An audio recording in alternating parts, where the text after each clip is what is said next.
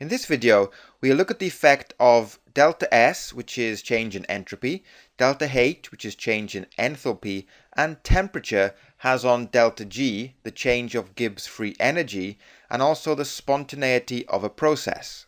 As we know, the change in Gibbs free energy must be negative for a spontaneous process.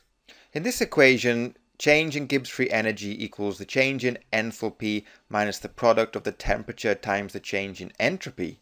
The sign of the change in entropy, delta S, and the sign of the change in enthalpy, delta H, as well as the value of T, temperature, low or high, can have an effect on the sign of delta G and therefore the spontaneity of the process. For example, Exothermic reactions that have an increase in entropy are spontaneous at any temperature. Endothermic reactions with a decrease in entropy are non-spontaneous at any temperature.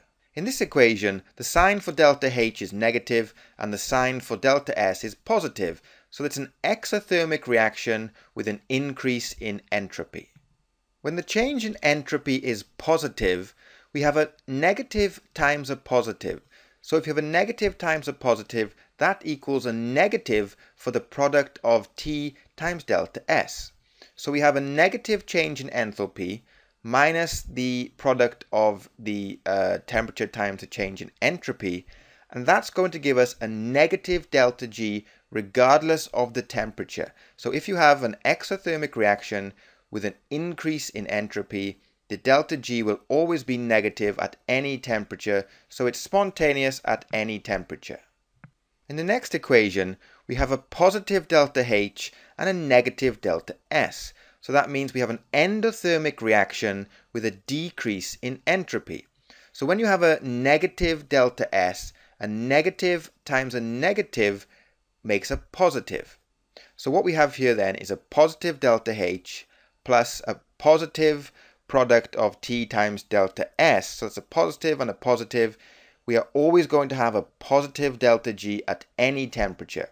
So a reaction that is endothermic with a decrease in entropy is non-spontaneous at any temperature. So we look at some other conditions for exothermic reactions.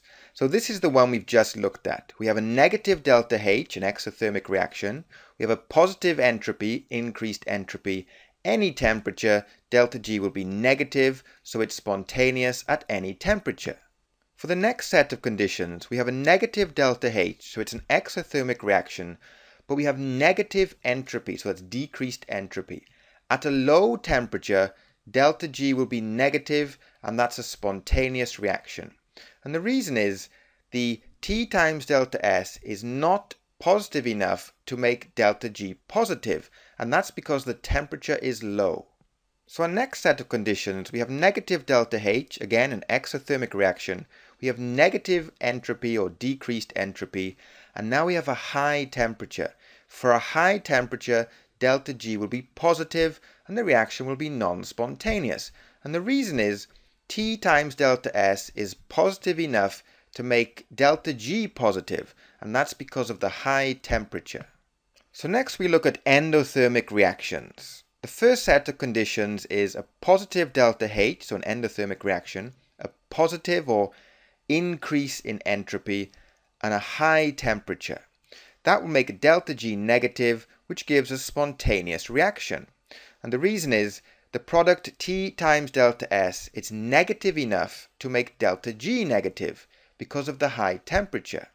The next set of conditions we have positive delta H endothermic reaction, an increase in entropy, positive entropy, a low temperature, and that makes delta G positive and non-spontaneous. And the reason T times delta S, it's not negative enough to make delta G negative, and that's because of the low temperature.